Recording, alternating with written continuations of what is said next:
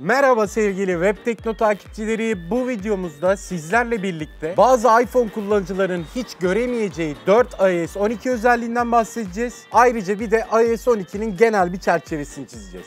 Şimdi arkadaşlar haklının hakkını vermek lazım. Yani Apple yayınladığı yeni güncellemelerini genelde bayağı eski cihazlarına kadar veriyor. Tabi olaya buradan bakarsanız güzel. Ama mesela iPhone 5s'e gelen iOS 12'yi indirmek yerse meselesi. Çünkü cihaz yavaşlayabilir. Yani kağıt üstüne bir güncelleme geliyor ama bu güncellemeler eski telefonlara ne kadar hayırlı geliyor o kısmı bayağı bir tartışmalı. Bir nevi insanı parasıyla rezil eden durumlar nedir? Ben size madde madde sıralayayım. Bir, derinlik kontrolü. Bazı Android kullanıcıları bunu zaten biliyorlar. Portre modunda arka planın bulanıklığıyla oynama özelliği. Apple'ın iPhone'larında da şöyle bir sıkıntı doğdu. Şimdi yeni gelen iPhone'larla çektiğiniz portre modu fotoğraflarda arka plan bulanıklığıyla oynayabileceksiniz. Fakat bunu yapabilmenizi sağlayan şey A12 Bionic chipset. Yani o chipsetin olmadığı tüm iPhone'lar parasını basıp alsam bile bu özelliği unutsun. İkinci maddemiz Siri kısa yolları. Şimdi arkadaşlar yine kağıt üstünde Siri'nin iOS 12 ile gelen tüm özellikleri bütün iPhone'lara açıldı. iPhone 5s, 6 ve 6 Plus donanım yetersizliğinden ötürü Siri'nin yapay zeka gerektiren özelliklerini kullanamayacak. Üçüncü maddemiz Memoji diye tanıtılan şu yeni şey. 2017 yılının Eylül ayında Apple yeni tanıttığı iPhone 10'larla birlikte True Depth adını verdiği yeni bir yüz tanıma teknolojisini de tanıttı.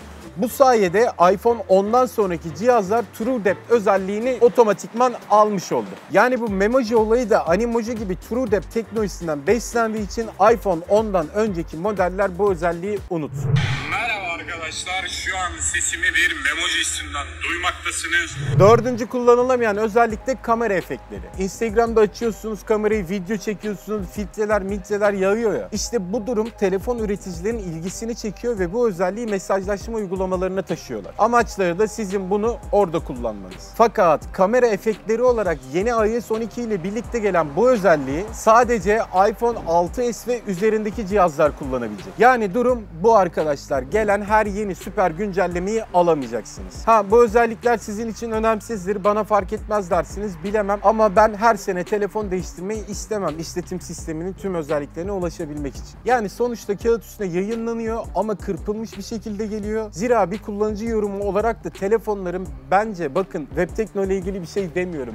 Ben yavaşlatıldığına dair inançlarım yüksek. Hatta zaten bunu itiraf ettiler olay seni beni aştı yani. Şimdi biraz da olumlu durumlardan bahsedelim ki bizi hemen böyle yorumlarda parçalamayın. Birincisi şu ekran süresi olayı 10 numara olmuş. Hem çocuk sahibi ailelerin işte oyun oynamak için şu kadar süren kaldı gibi notifler gönderebilmesi hem de benim hangi uygulamada ne kadar zaman kaybettiğim bir veri olarak görebilmem benim hoşuma gitti. Bu güzel olmuş. Bir diğer durum da bildirim ekranlarında aynı uygulamalardan gelen bildirimlerin gruplandırılması olmuş. Sonunda bu özelliğe kavuştuk. Yine benim ilgimi çeken bir diğer durum da AR-Kit 2 arkadaşlar. AR-Kit 2 ile birlikte birden fazla kişi sanal gerçeklik deneyimini aynı anda yaşayabilecek. Bu da gelecek için böyle değişik oyunların falan filan sinyalcisi ben söyleyeyim. Sonuç olarak arkadaşlar iOS 12 güncellemesiyle ilgili daha fazla bilgi istiyorsanız Webtekno'da çok daha detaylı bir yazı var. Onun linkini açıklama kısmına bıraktım. Sizlere sormak istediğim soru da şu arkadaşlar. Şahsen ben iPhone cihazları iOS işletim sistemi nedeniyle tercih ediyorum. Benim gibi düşünenler var mı? Sadece iOS için